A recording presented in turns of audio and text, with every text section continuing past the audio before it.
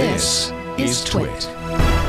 The term hacking and the name hackers has been around since the 80s, and open source was a military term until hackers basically took it over in 1998, early 1998. So it's been with us for more than two decades, but not far less long than than than the term hackers has been. It occurs to me that um, hackability is really what we mean by open source. If it's open, you can hack it, right? And and the ability to hack, I think, is really at the core of all of it. Where where I want to go with this, if if you're up for it, um, uh, Cory Doctorow of EFF and much else has been on this case for some time. I think with limited effect because it's hard for people to get their heads around.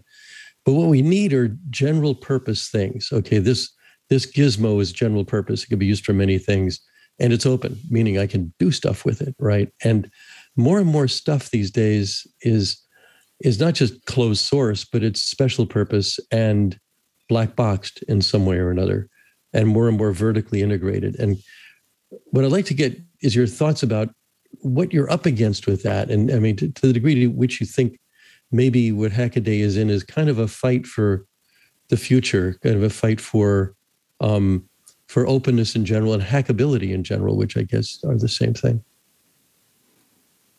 Yeah, that's absolutely right. I couldn't agree more. And the more smart, like a lot of the things around us get, the more they kind of, the more their manufacturers kind of want to use that smartness to control us and to, you know, to watch what we're doing, to monitor us. And then when their service goes out, you know, you're stuck with a brick again.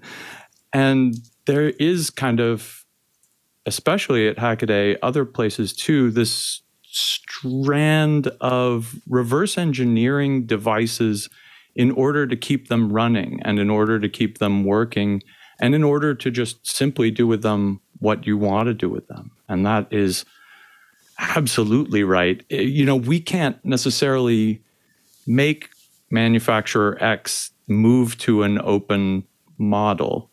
Um, but a lot of them are doing it by their own free will in a way. Like a lot of devices these days have embedded Linux in them.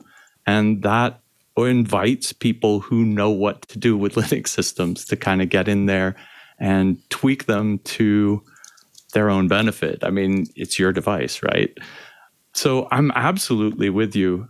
One of the really coolest things I've seen recently, there are a bunch of these old retired Bitcoin miners in China. And the FPGA board that ties a lot of the GPUs together to do the Bitcoin mining is really interesting to people like me who like to toy around with low level hardware and FPGA stuff like that. But these boxes are no longer profitable anymore. Like they pull the GPUs out. And so you can get these fantastic FPGA boards online for pennies that used to cost like hundreds of dollars for a dev kit. And so you can play around with these things just because of some smart hackers have kind of done the groundwork to figuring out that this is where these interesting general purpose computing systems lie and made a nice roadmap so that you can then take them and start using them for your own purposes.